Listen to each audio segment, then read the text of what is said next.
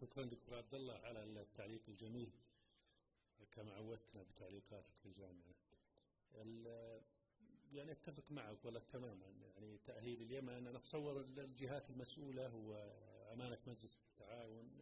تشعر بما تشعر به على ما يبدو.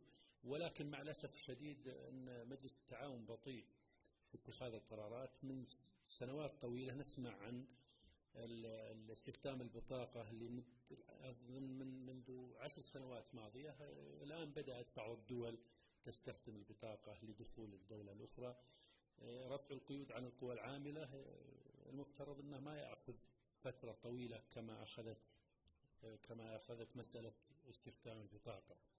اليمن أيضا مثل التأهيل اللي ذكرت هو الآن يدرس في دول مجلس التعاون. أنا أتصور أنه لن لن يخلو من بعض المشكلات لذلك ينبغي التريث وينبغي الدراسة وينبغي يعني دمج اليمن مع دول مجلس التعاون بناء على دراسة وبناء على دراسة لأبعاد الموضوع لأن قد يضر دول مجلس التعاون وقد يعني يضر حتى اليمن ف ولكن في النهاية هو مقترح جيد أنا في رايي. أعود بس للدكتور أبو خالد قال ماذا يعمل الباحث الجاد إذا كانت الاحصاءات فيها لا يستطيع أن يعمل الكثير. لأن المسوحات التي تجرى على مستوى الدول تكلف الكثير من المبالغ وتحتاج إلى طاقات بشرية كبيرة لا أستطيع أن أدرس البطالة وأعمل مسح يشمل جميع مناطق المملكة شبه مستحيل فتبقى الجهات المسؤولة والرسمية هي المسؤولة.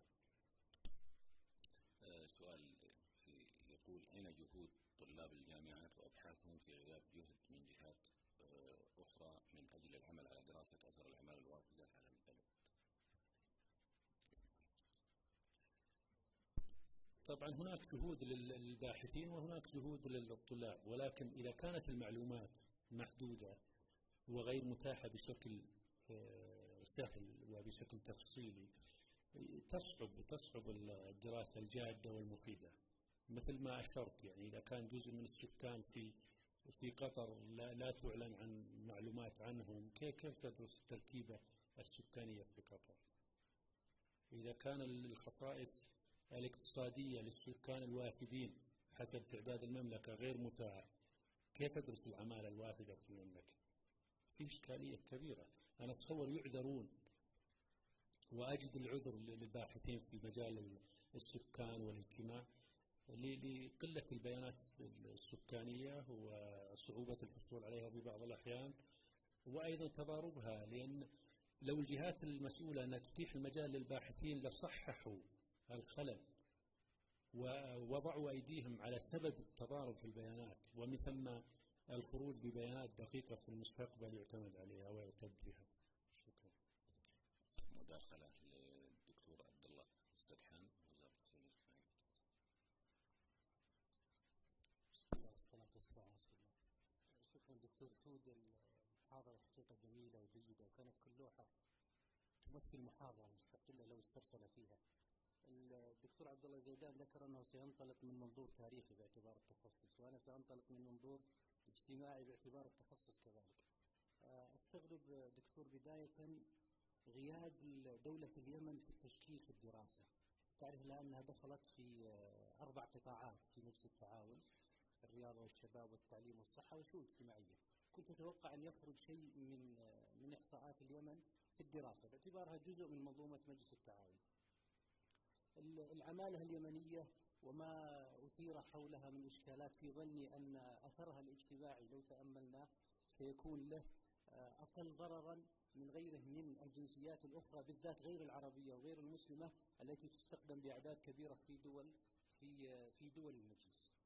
الإشكال الحقيقي في ظني في في الطفرة التي حصلت أنه غيب البعد الاجتماعي والبعد العقدي والثقافي للخليج.